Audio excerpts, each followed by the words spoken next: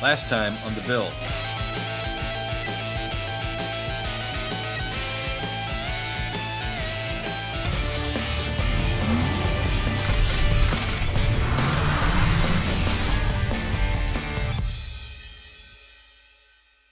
As you may have seen previously, we've got some rust issues on the back. These are very fixable, but I need to get in there, cut the bad metal out, and then put in new. Uh, so that's what we're going to work on.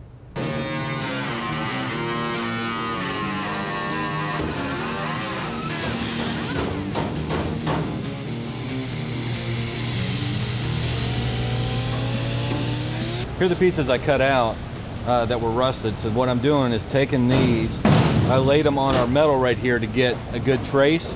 Uh, now I'm going to cut this out and then see if I can uh, bend it in shape and trim it here and there and get it in uh, tack welded in.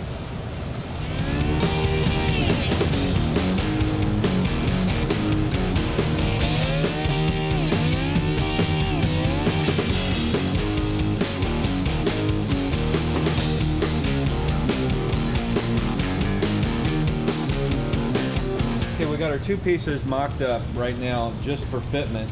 And we've got a piece underneath and then the piece up top. And uh, we've got it roughed in. What I need to do is just clean off the edges and do all that and then spray weld through primer on it. And then basically mock it back up and weld it in. We got the panels welded in. Uh, now that's all that's left is really grinding it down, making it look pretty, and a little bit of skim coat on body filler, but shouldn't need a whole lot. And now I'm working on the other side where I'm instead of one giant patch panel, I've got two smaller ones. So I'm basically mocking up the metal for the under part. Once I get that in place, weld it in, and then I'll make the uh, panels for the top.